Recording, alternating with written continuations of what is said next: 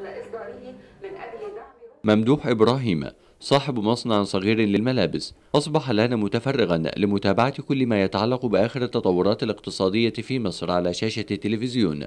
عله يجد لأزمته مخرجا بعدما أغلق مصنعه لأسباب عديدة؟ النهارده العامل نفسه عاوز يشتغل عدد ساعات أقل وعاوز النهارده الأجر بتاعه يبقى أعلى من الأول.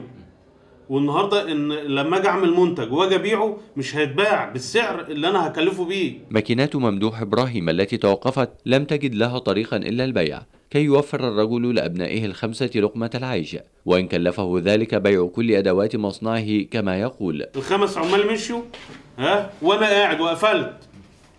وأنا النهارده بعت من المكن مكنة عشان آكل. فانا كل كل شوية هبيع مكنة عشان أكل منها. ده طبعا مش هنقول إن الثورة اللي عملت كده ده ده اللي إحنا فيه ده من قبل الثورة من الحكومة السابقة. فإحنا دلوقتي عاوزين نعمل إيه؟ توقف مصنع ممدوح عن العمل لم يكن إلا جزءا من مسلسل لإغلاق العديد من المصانع والورش إما بسبب تسريح العمالة أو بسبب الاضطرابات عن العمل والمطالبات الفئوية. أمر حذر من خطورته رئيس المجلس الأعلى للقوات المسلحة المشير حسين طنطاوي خلال حفل تخريج دفعة جديدة من الشرطة. الاقتصاد في مصر الآن بيعاني معاناة كبيرة جدا.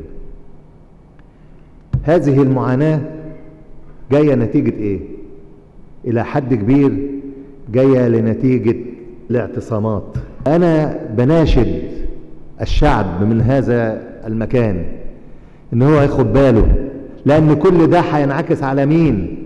هينعكس على ليه؟ عليهم هم على الشعب بمنتهى السرعة إن إحنا نشتغل وننتج لأن مصر فيها من الإمكانات ما هو يجعلها من أغنى الدول بس كلنا نشتغل ونراعي ربنا ووفقا لوزارة المالية فإن الاحتجاجات الفئوية قد ساهمت في تكليف الخزانة العامة للدولة سبعة مليارات جنيه في ثلاثة أشهر فقط ووصول عجز الموازنة العامة إلى تسعة في المئة من الناتج المحلي الإجمالي كما أن العمل بنصف طاقة المصانع وتراجع حجم الصادرات بنحو 40% وبلوغ خسائر القطاع السياحي 13.5 مليار جنيه. عوامل قد ساعدت في تراجع الاقتصاد بشكل كبير.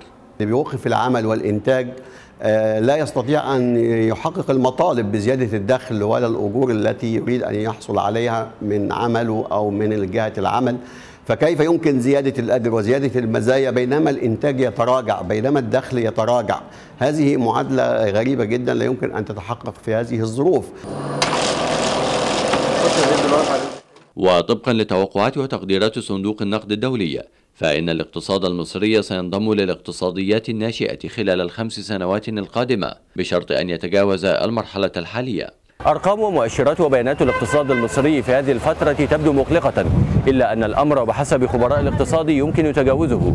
في حال تحلى كل مواطن بقدر من المسؤولية والوطنية في أن يضاعف ساعات عمله بإتقان لكي يجني بعد ذلك ما أنتجته يداه وما أبدعه عقله. محمد العارف النيل. القاهرة.